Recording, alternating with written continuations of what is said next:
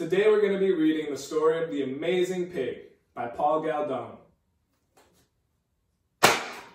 Once upon a time, in a land far across the sea, there was a king who had a beautiful daughter.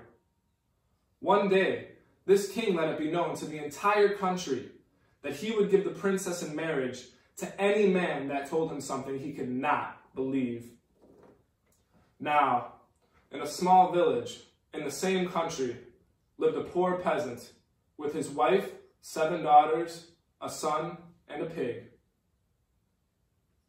When the poor peasant's son heard of the king's offer, he decided to set out for the palace to try to win the beautiful princess for his wife. After a long journey, the peasant's son arrives at the palace gates. The guards permitted him to enter, told him to join a long line of princes, knights, and noblemen who were all awaiting to see the king. As the young man waited patiently, he saw many other princes, knights, and noblemen, all leaving the palace. They all looked very disappointed. At last, it was the young man's turn to present himself to the king. He stood before the king's throne. He bowed deeply and said, Good day, your majesty. Good day to you, my lad, said the king. Why have you come to see me? I would like to marry a beautiful daughter, your majesty.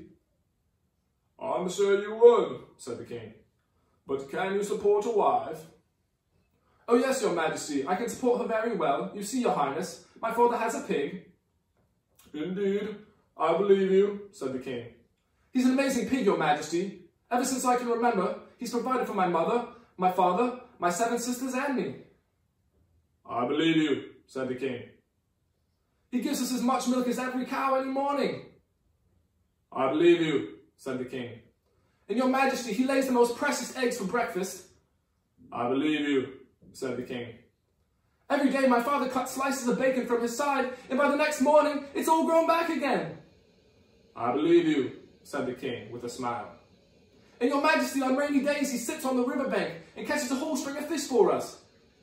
I believe you, said the king.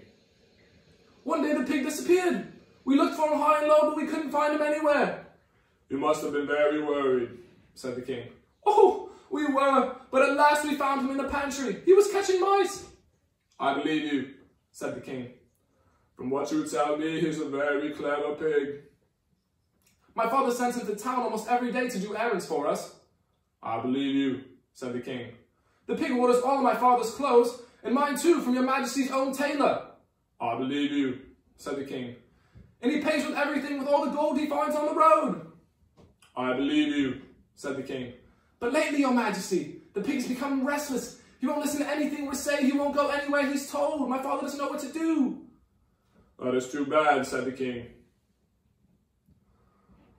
Besides, your majesty, he's getting quite blind. He can hardly see where he's going.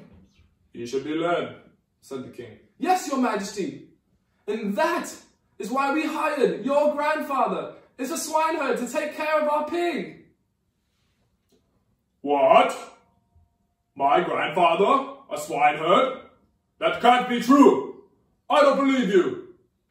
Then too late, he remembered his promise. What could he do but to allow his beautiful daughter, the princess, to marry the peasant's son? The couple lived happily ever after for many years.